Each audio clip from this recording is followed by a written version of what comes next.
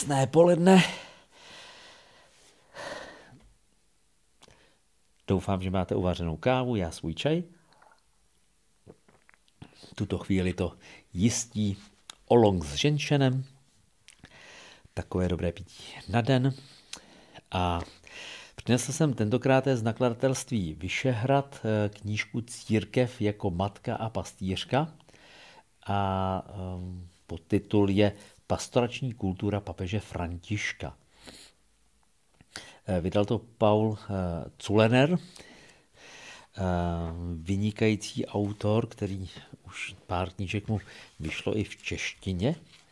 A eh, já bych rád tady jenom vytáhnul jeden takový postřeh, který od papeže Františka vlastně, respektive tak, jak to hm, Culenar vidí jako takové. Od moralizování k léčbě.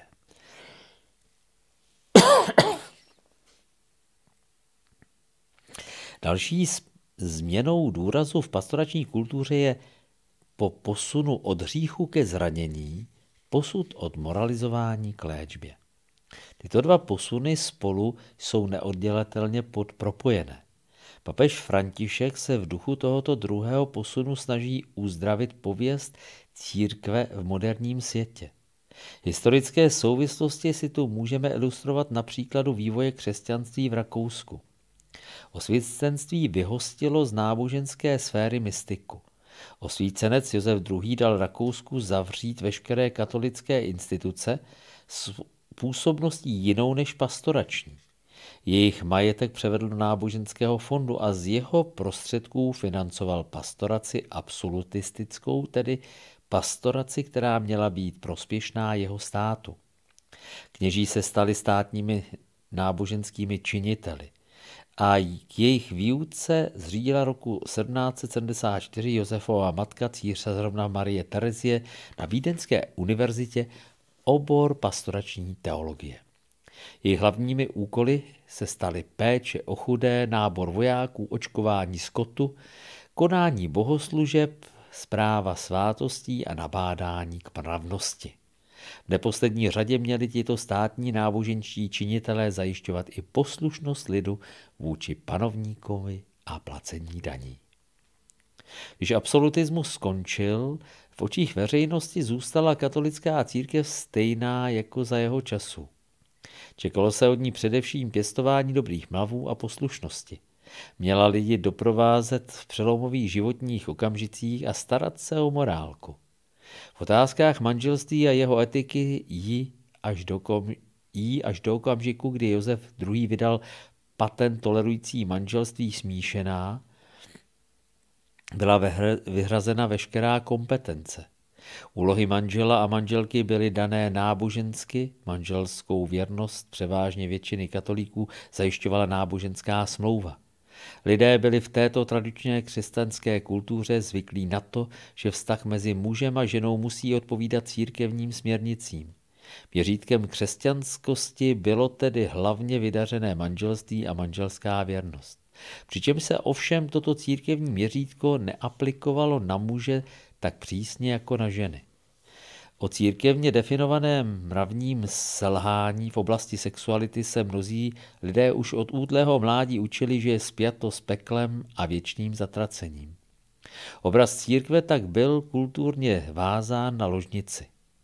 Samotná církev úlohu, která jí byla takto stanovena, po dlouhou dobu akceptovala v katechezi, v kázáních i v evangelizaci a během času ji rozšířila i na další spousední sféry, jako jsou interrupce, ochrana života.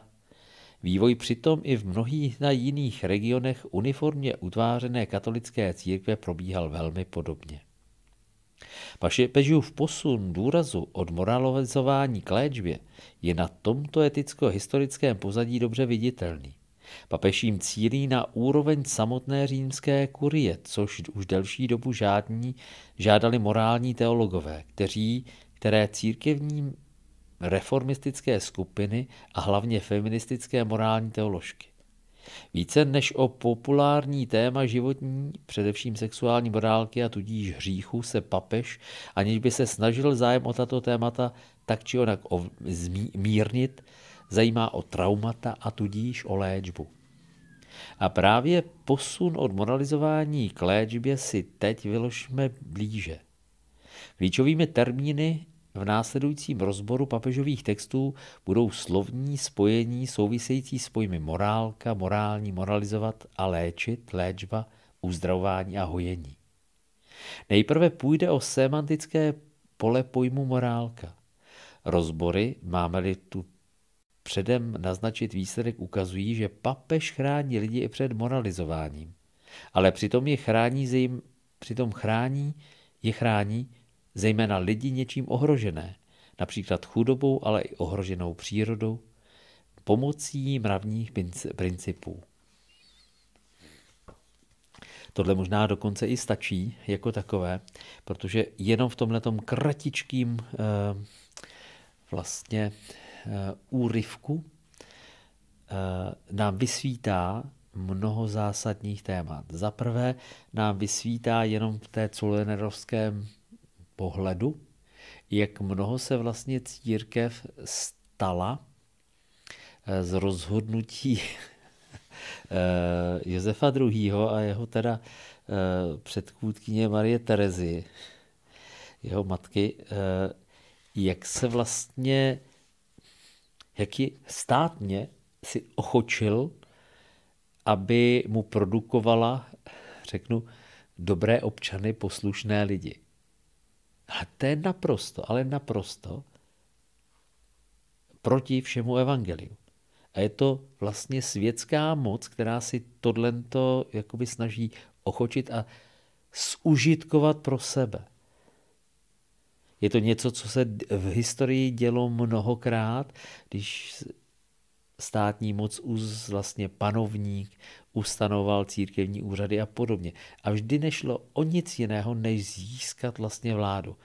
A není to o tom, že toto by vyplývalo z evangelia jako takového nebo z církve v jejím slova smyslu. Ano, můžeme vyčítat církvi, že se nechala.